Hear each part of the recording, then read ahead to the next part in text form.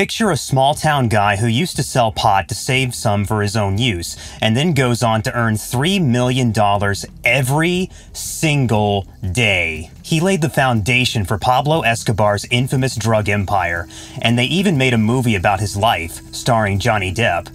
And yet, he was worth less than $10,000 on the day he died. This is a story about building an illegal empire, aircrafts, and some crazy luck. We are talking about George Jung, dubbed as the biggest smuggler for Pablo Escobar.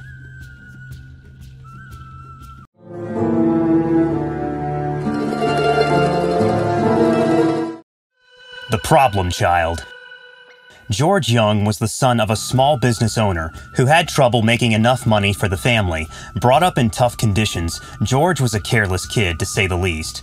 Not the best in studying, but George sure impressed his classmates with sports. His friends called him a natural leader, as he made great progress in high school football. His abilities in football awarded him a football scholarship at the University of Southern Mississippi. However, George decided to drop out, and this led to a downward spiral in the life of drugs for him.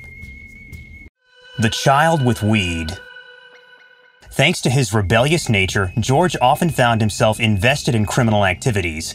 He was introduced to drugs during his teen years and was quite fond of marijuana. He would buy marijuana in decent amounts, smoke a bit himself, and sell the rest so that he could buy more to do it all over again. He was not making a profit on it though. George did this cycle just to get more marijuana.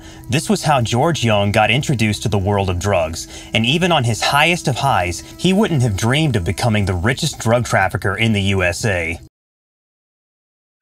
The Child Who Sold Weed when George was living in a rented place in California, one of his friends from the University of Massachusetts visited him. Around that time, George used to pay around $60 per kilo for his weed, and a eureka moment happened for both of them when the friend told George that it is worth over $300 per kilo in Massachusetts. They decided to make selling weed their hustle, where George and his associates would smuggle marijuana to Boston in suitcases of a flight attendant and later in a camper van and sell it in other states. Eventually, George says that he was making hundreds of thousands of dollars by buying weed from California and smuggling it all the way to Massachusetts.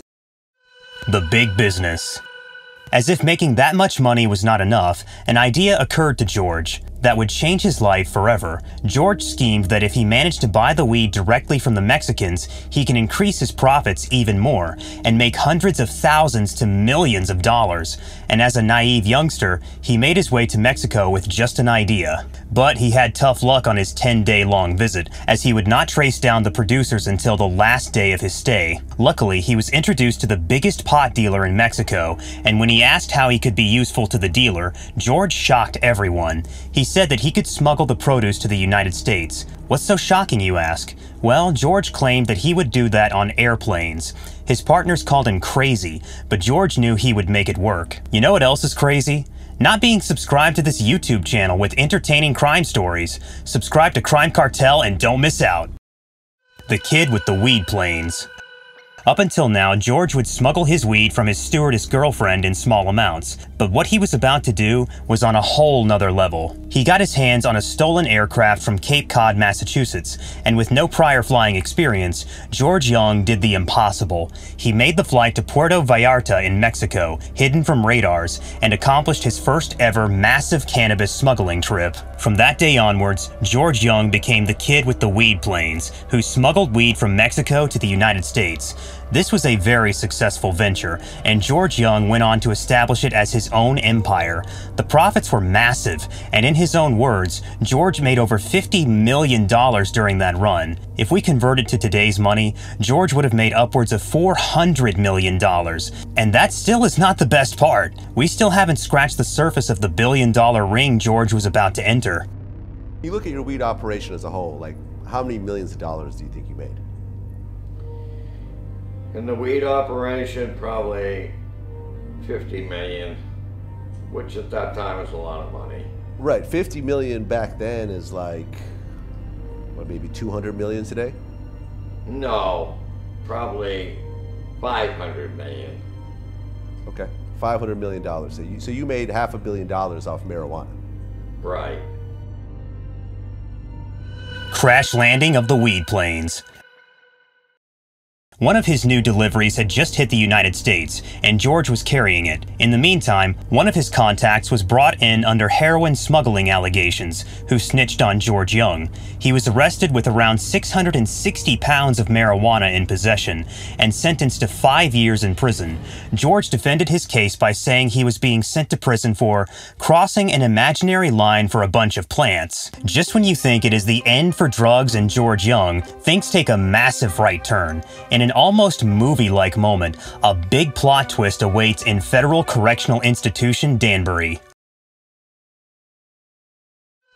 The Flight of Pablo in FCI Danbury, George's cellmate was Carlos Lehder, who was the co-founder of the Medellin cartel in Colombo. When the two exchanged information on why they were in prison, another eureka moment clicked. You see, Carlos knew that there was a market for cocaine in the United States, and George, on the other hand, knew how drugs are trafficked. It was like Walter White had met Jesse Pinkman, as if it was a signal to George that he still needs to fly those planes, with just one change. Now, George Jung was flying for cocaine. Both Carlos Lehder and George Jung reconnected after they got parole from prison in 1974, and they went on to create the biggest cocaine smuggling ring in the history of the United States.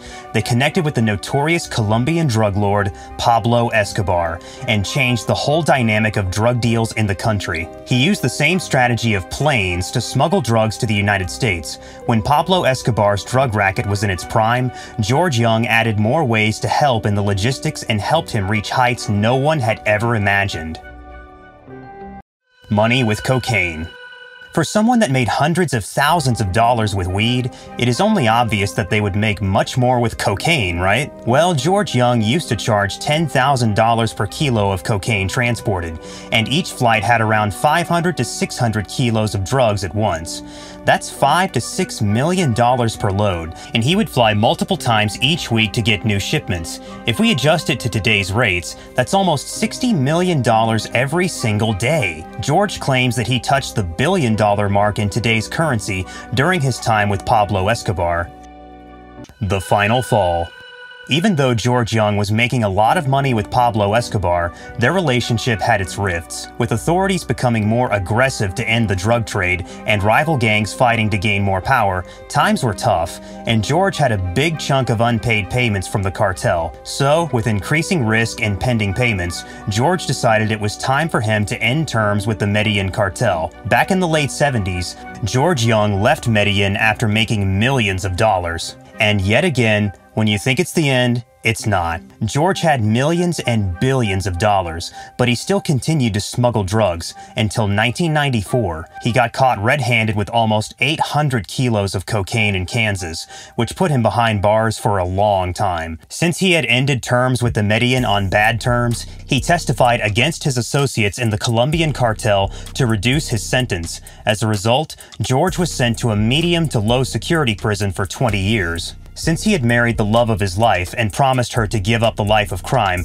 George did not regret the time in prison at all. His bank accounts were seized, including the one in Panama Bank, that had around $68 million.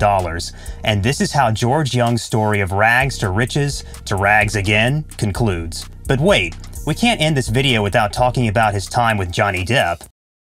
Blow. Since George's case was so openly discussed in the 90s, director Ted Demme decided to showcase it on the big screen, and George's character was played by none other than Johnny Depp himself.